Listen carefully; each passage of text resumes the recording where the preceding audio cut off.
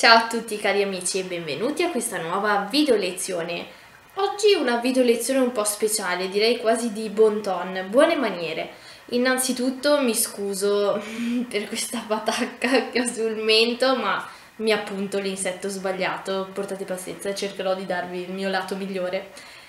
A parte gli scherzi, L'ispirazione oggi mi è venuta perché con mia sorella Clara sono andata a Milano fare una gita fuori porta, shopping, cibo milanese, musei bellissimi, abbiamo visitato Palazzo Brera, il Museo del Risorgimento, l'Orto Botanico, è stata davvero una giornata interessante. Tuttavia il viaggio in treno di ritorno è stato un po' spiacevole. Quindi per questo vorrei darvi dei consigli su come ci si comporta in treno e più in generale sui mezzi di trasporto pubblici, quelli in cui insomma non siete da soli, perché magari non ci fate caso, ma eh, ci sono certi atteggiamenti che possono dar fastidio alla persona seduta a fianco a voi. Per esempio, eravamo seduti su posti da quattro, mia sorella aveva a fianco un uomo che continuava a lamentarsi perché nella carrozza c'era un bambino con sua madre e un bambino con sua madre che insomma strillava per giocare.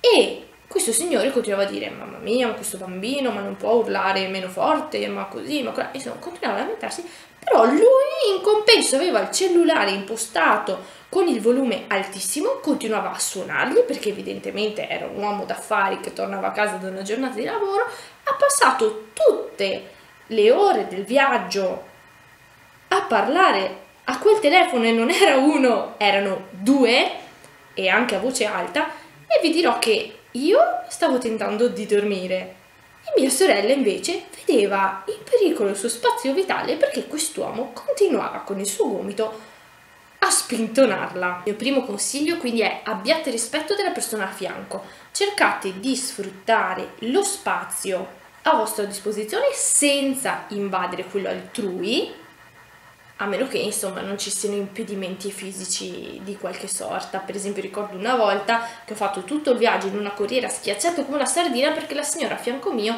evidentemente aveva dei problemi, era in sovrappeso, magari proprio problemi insomma di natura medica e io passo tutto il viaggio con lei addosso a me ed è stato davvero difficile perché oltretutto faceva caldo. Quindi rispetto degli spazi altrui. In secondo luogo mettete silenzioso il cellulare, tenetelo in vibrazione in modo che non vi perderete nessun messaggio, nessuna telefonata. Però ragazzi, non il telefono rumoroso perché sennò tutta la carrozza sentirà i fatti vostri. Non è piacevole né per voi perché vedete violata la vostra privacy, né per l'altra persona, perché insomma le altre persone intendo in generale, perché agli altri cosa interessa dei fatti vostri? In secondo luogo cercate di limitare le telefonate o comunque di tenere un tono di voce che sia insomma basso. Io per esempio dico sempre Ciao nonna, guarda, sono in treno, sono in corriera, non posso parlare a voce alta. Mia nonna puntualmente mi risponde, eh, cosa?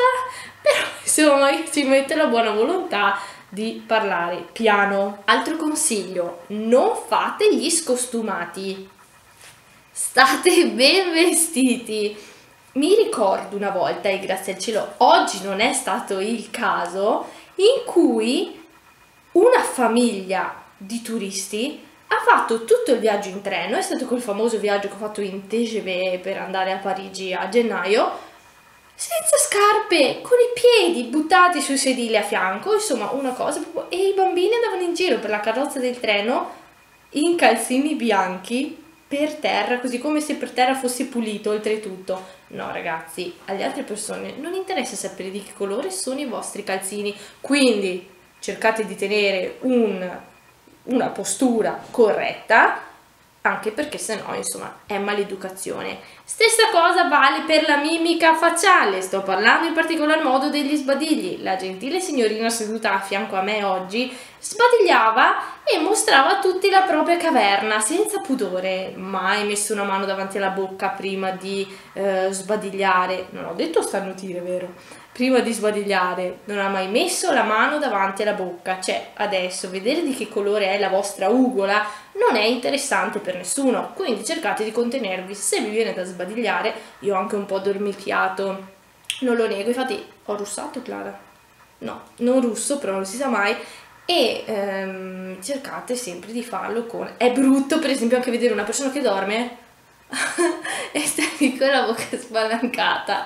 No, no, non siete da soli, non potete permettervi di fare cose che magari da soli fareste. Ultimo consiglio, così come non dovete invadere gli spazi degli altri con il vostro corpo, non dovete farlo neanche con le vostre cose. La gentile signorina seduta a fianco mio oggi, finché dormivo, mi ha rovesciato la bottiglia di acqua, grazie a Dio chiusa addosso e naturalmente mi sono svegliata un po' di colpo. Quindi attenzione a gestire bene anche tutti gli oggetti oggetti che mettete sopra i tavolini o che tenete in mano perché potrebbero malauguratamente cadere addosso al vostro vicino che potrebbe non gradire. Benissimo cari amici, con questa è... no. Beh, lascia stare, tanto basta solo che dopo io taglio. Penso di avervi dato la maggior parte dei consigli che ritengo indispensabili per poter viaggiare senza il pensiero di mancare di rispetto alle altre persone, insomma mantenendo quindi una buona educazione. Se ve ne viene in mente qualche altro, lasciate un commento qui sotto, sarò molto contenta di chiacchierarne insieme a voi e poi potrebbe essere utile anche per altre persone. Non dimenticatevi inoltre di lasciarmi un commento anche solo per salutarmi, di mettere un bel like alla mia eh, pagina Instagram, alla pagina pubblica di Facebook e di seguirmi qui nel canale YouTube. Se avete altre video lezioni da richiedermi, così come state già facendo in molti, non esitate a farlo, contattatemi pure, le farò quanto prima. E con questo vi auguro una buona serata.